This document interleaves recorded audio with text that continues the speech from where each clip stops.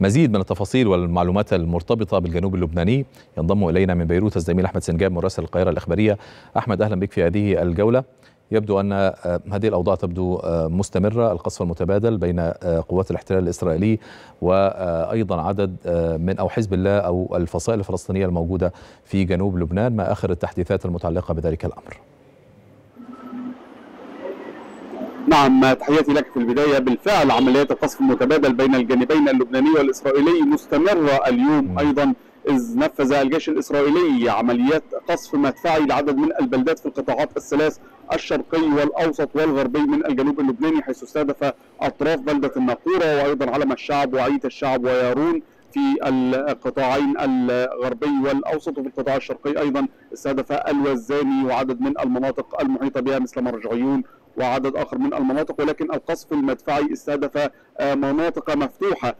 ظنا من الجيش الإسرائيلي أن هذه المناطق تستخدم لشن عمليات من قبل المقاومة الإسلامية في لبنان باتجاه أهداف عسكرية إسرائيلية.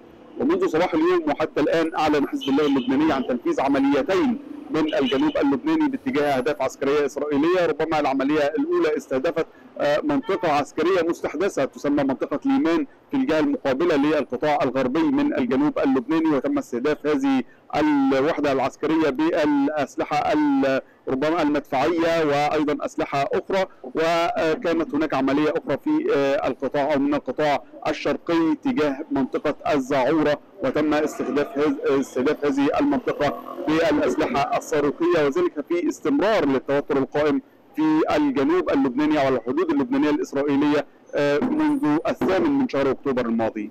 امم طيب أحمد ما مدى اتساع نطاق هذه المعركة؟ كنا في بداية هذه الحرب نتحدث ربما عن نطاق معين عن بعض البلدات المتمركزة في الجنوب اللبناني، هل يمكن القول الآن أن المعركة الآن اتسعت وأصبحت عدد من المناطق في لبنان بشكل كامل محل استهداف من قبل القوات الإسرائيلية؟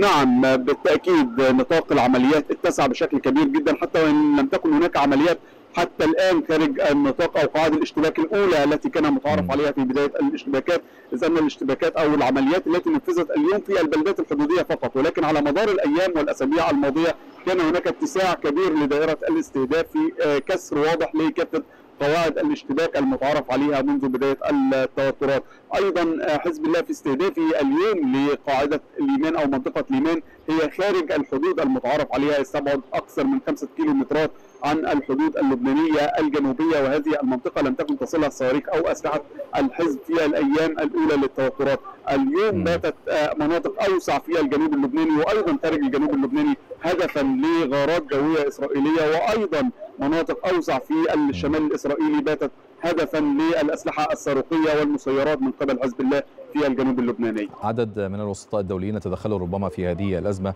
الولايات المتحدة، فرنسا، ألمانيا، عدد من الدول.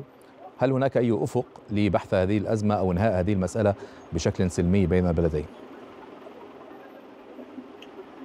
نعم بالتأكيد كانت ربما أبرز هذه الجهود أو آخرها هي زيارة المبعوث الأمريكي اموس هوكشتاين إلى العاصمة اللبنانية بيروت قبل يومين والتقى خلالها رئيس مجلس النواب اللبناني نبيه بري ورئيس حكومة تصريف الاعمال اللبنانيه نجيب ميقاتي وقائد الجيش اللبناني وعدد من المسؤولين اللبنانيين.